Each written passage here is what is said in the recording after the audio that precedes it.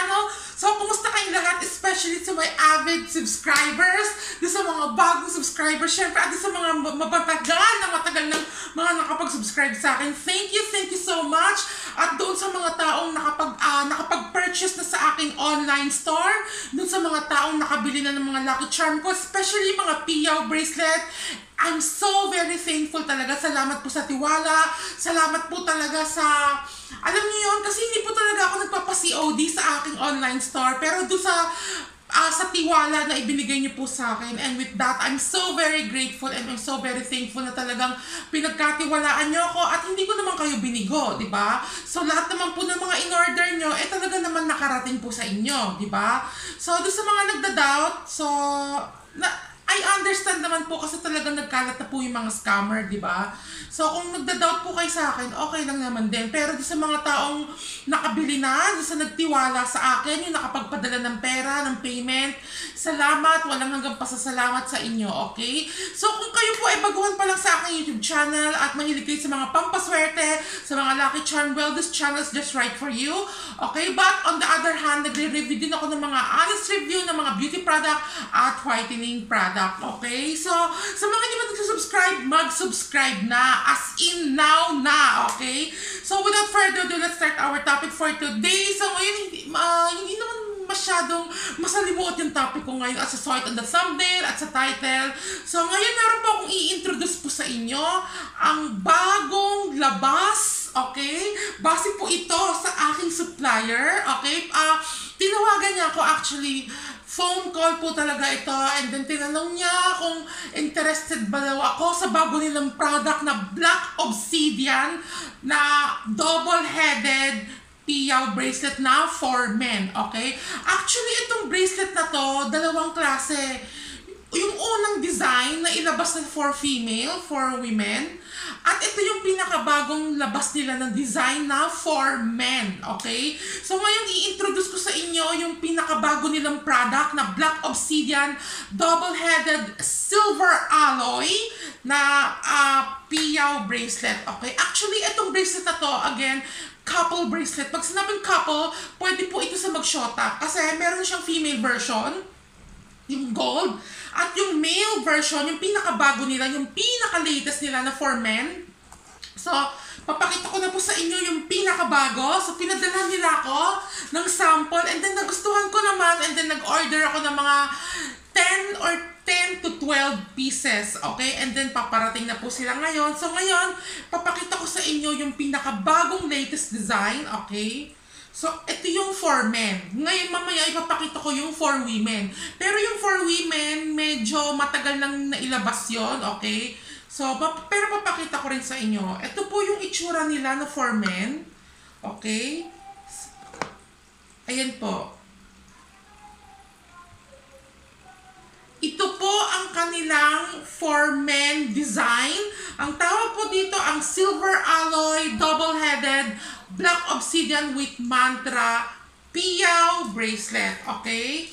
So this design is for men only, for boys.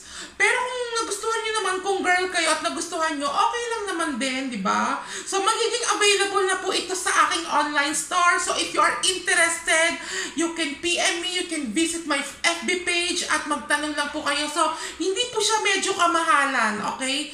Medyo mura lang po itong price na to, okay? So, ngayon, papakita ko sa inyo, ito naman yung female version. Yung female version, uh, medyo matagal na siyang nailabas. Hindi naman sobrang tagal. Saktong tagal lang, okay? Mas nauna yung female version nito. So, ito, this, ito for men, okay? So, ngayon, ito naman yung kanyang female version na double-headed, uh, gold-plated black obsidian with gold bar na piyaw bracelet, okay? So, pwede siyang maging couple bracelet, di ba? So, kung kayo po ay mag-asawa, mag-jowa, and then bibili kayo ng PL bracelet, might as well, bilhin niyo po yung couple bracelet. Ang tawag ko dito is Black Obsidian couple bracelet, okay? So, ito po, medyo matagal na to lumabas, okay? Medyo matagal na tong edition na to. Ito po yung pinaka-latest nila na for men na sinasabi sa akin ng supplier ko, okay? So, hindi siya ganun kasikip, hindi rin siya ganun kaluwag. Saktong-sakto lang. Okay? So, ito po yung kanyang silver money bar. Ito po yung silver money bar with mantra. With mantra na po ito. Kung papansinin niyo po, meron siyang mga nakasulat. Parang ito, di ba? Ito po yung Black Obsidian with mantra. Ito naman yung money bar, silver money bar na may mantra na nakasulat. Okay, tapos double-headed po siya. Okay.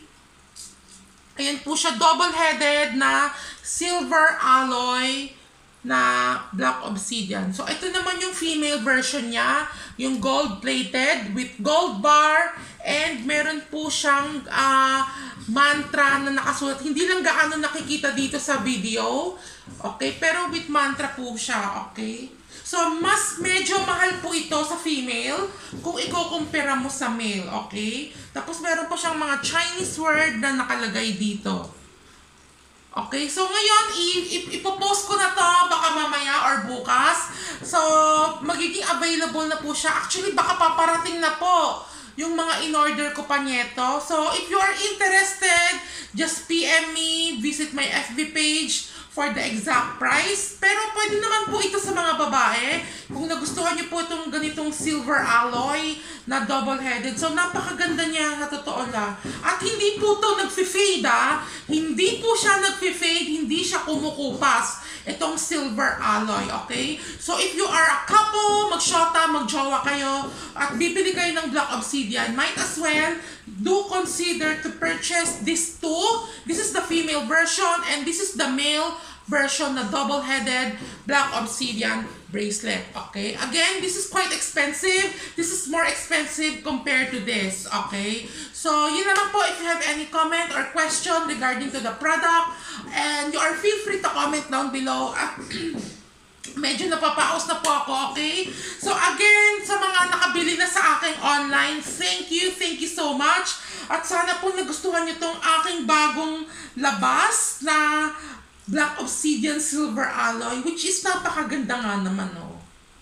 Diba? Kung papansin niyo malaki po yung kanyang piyaw. Kung i-compare mo dito, okay, medyo mas malaki din naman to, pero parang di hamak na mas malaki to eh, itong sa silver. Okay, so ganyan po itsura niya. Ito ay for men, at ito naman ay for women. Okay? But, if you are a woman and you love this one, well, okay lang naman kung gusto niyo mag-purchase niya itong silver. And this is not fadeable, okay?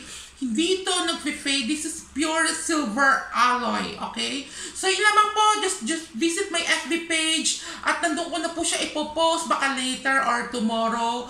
Just PM me for exact price. Hindi po ako nagdi-disclose or nagdada, nagdadivulge ng amount sa aking FB page just PM me, okay? Mura lang po ito. Mas mahal po itong pambabae kaysa dito sa panglalaki, okay? So, ngayon, ibabalik ko na po, okay? So, ito, magiging personal collection ko na po itong dalawang to. Hindi ko na po ito ibebenta, okay?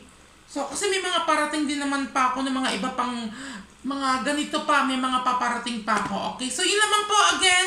If you have any comment question, violent reaction, you are feel free to comment down below. And please do like this video, like and share this video to your social media account like Facebook, Instagram, or Twitter. And then, sa mga di pa nakakapag-subscribe, Mag-subscribe na po kayo sa aking YouTube channel. It's Lincoln Naserio, aka Trends. At sana po nagustuhan niyo tong video na to sa aking bagong munting unboxing sa bagong uh, design na piyaw na silver alloy. So, yun naman po. Bye-bye. Till the next video. At sana po eh uh, makapag-purchase kayo sa aking online store. Bye-bye. I don't know what you been told but the scab here is going to